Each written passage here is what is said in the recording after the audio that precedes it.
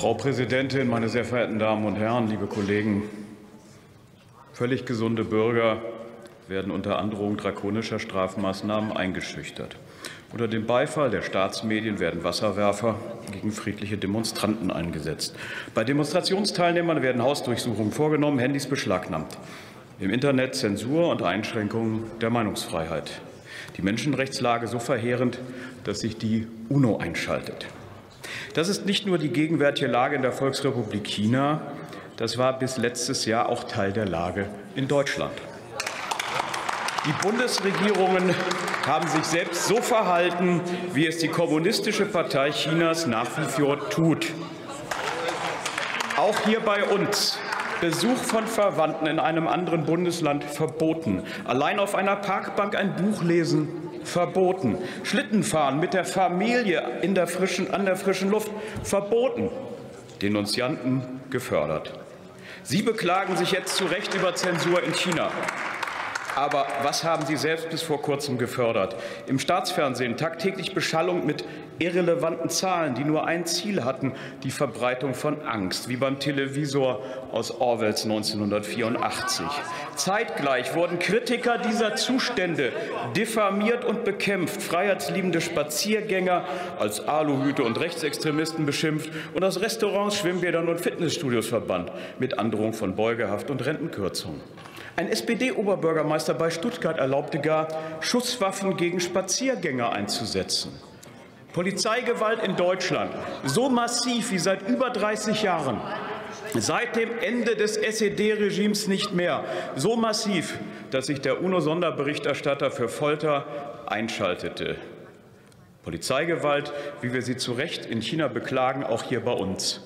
Und nahezu, nahezu alle von Ihnen haben mitgemacht. Herr Trittin, Sie haben die Impfpflicht für alle gefordert. Jetzt können Sie viel über Freiheit in China reden. Herr Lauterbach ist ja passenderweise gar nicht da.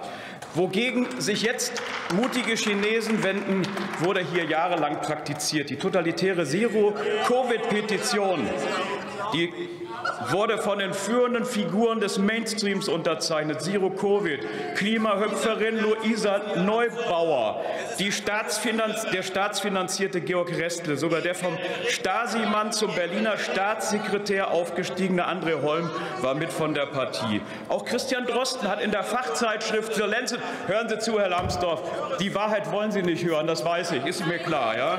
In der Fachzeitschrift The Lancet zum bedingungslosen Einsperren der Bürger aufgerufen. Ich bitte zum Thema der Aktuellen Stunde. Und der Gesundheitsminister Lauterbach erst, das ist chinesische Null-Covid-Ideologie in Reinform.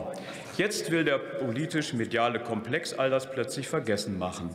Angesichts der brutal unterdrückten Proteste in China an diesem Wochenende lügen sich deutsche Staatsmedien mal wieder um Kopf und Kragen. In der Tagesschau heißt es, ich zitiere, Große Impfkampagnen gibt es in diesem Land mit 1,4 Milliarden Einwohnern nicht. Stattdessen leben die Menschen in China seit knapp drei Jahren mit immer wiederkehrenden Lockdowns, Massentests, Ausgangs- und Reisebeschränkungen. Zitat Ende. Dabei hat die Volksrepublik China eine Impfquote von 89 Prozent, eine der höchsten der Welt. Aber keine noch so hohe Impfquote hat zum Einknicken der deutschen Regierung in Sachen Null-Covid geführt. Nein, es waren hartnäckige Bürgerproteste und Bürgerproteste allein, denen wir das zu verdanken haben. Die chinesische Strategie, die chinesische Strategie der Einschüchterung und Einsperrung, die hier und heute zu Recht einhellig verurteilt wird, war deutsche Staatsräson. Und sie wäre Staatsräson geblieben, wenn nicht die wahre Zivilgesellschaft aufgestanden wäre wäre über ganz Deutschland verteilt friedliche Spaziergänge, um dieser skandalösen Politik endlich Einhalt zu gebieten.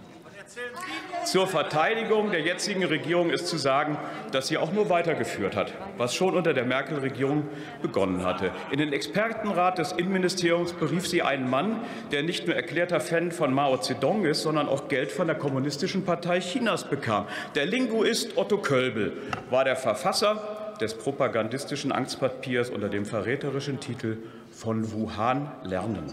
Ausgerechnet Wuhan, wo das neue Coronavirus entstanden ist. Ich sage Ihnen, was man von Wuhan lernen kann, wie man ein Virus gentechnisch so manipuliert, dass es hochvirulent wird und man damit eine weltweite Massenpanik auslösen kann. Sie wollten auch noch das chinesische Gesellschaftsmodell imitieren, aber der deutsche Sonderweg gelangt Gott sei Dank zu einem Ende.